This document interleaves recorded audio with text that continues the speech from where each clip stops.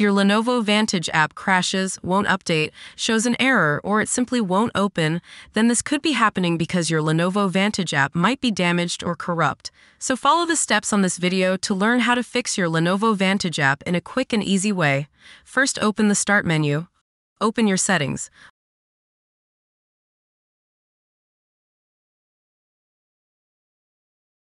Open Apps. Open the Installed Apps section. Locate Lenovo Vantage. Click on the three dots to open the Lenovo Vantage options. Click on Advanced Options. Look for the Reset section. If the Lenovo Vantage app isn't working right, you can try to repair it. The Lenovo Vantage data won't be affected. Now press Repair. If Lenovo Vantage is still not working right, reset it. Now press the Reset button.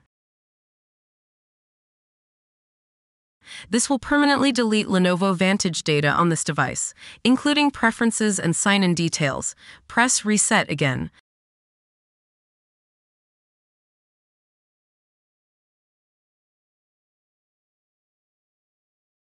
If Lenovo Vantage is still not working, you could try to reinstall it. This will uninstall Lenovo Vantage and its settings. Your documents will not be affected. First press uninstall. The Lenovo Vantage app and its related data will be uninstalled. Press uninstall again. Now open your Microsoft Store to download Lenovo Vantage again.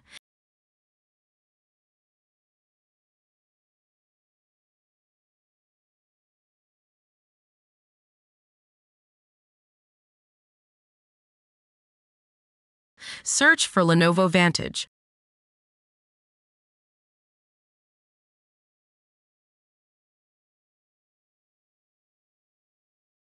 Click on Lenovo Vantage. Press Get.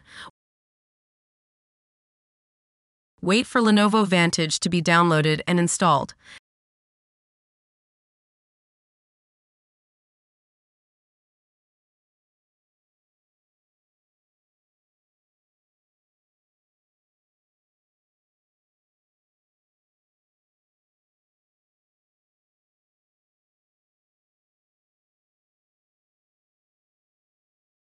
Now open Lenovo Vantage.